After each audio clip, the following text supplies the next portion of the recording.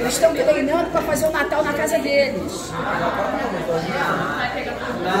Professora Selma, fala para nós aqui, qual o motivo desta mesa tão bonita aqui?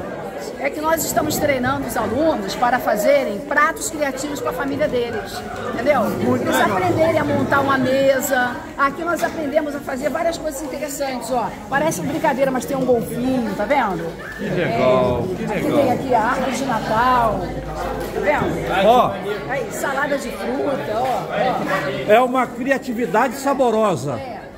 Mas o importante não é só isso aqui, o importante é a interação, a cooperação.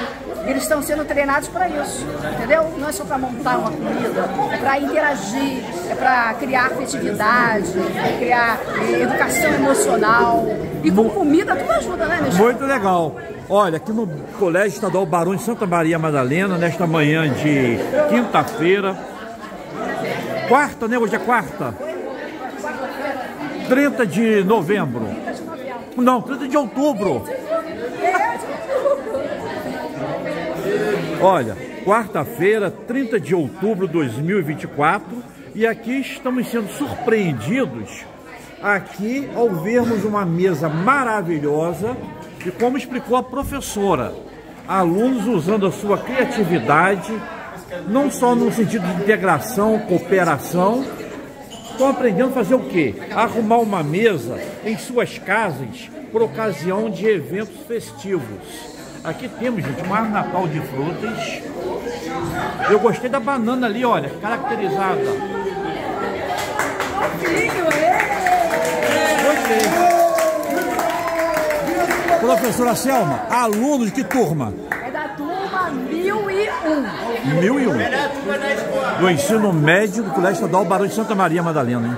Maravilha, gostei, gostei. Melhor turma da escola. Gente, agora, presta atenção. Ó, chegou o momento de vocês mostrarem que vocês são socializados.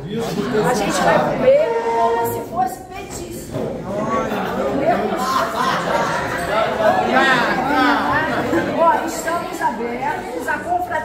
Eu vou começar a força calma, gente. Muito bem, gostei. Olha bem, olha bem. A professora Selma explicou que é para todo mundo saborear de forma civilizada. Com imagem Nestor Lopes. Colégio Estadual Barão de Santa Maria Madalena, quarta-feira, 30 de outubro de 2024. Tá aí. Criatividade saborosa, hein?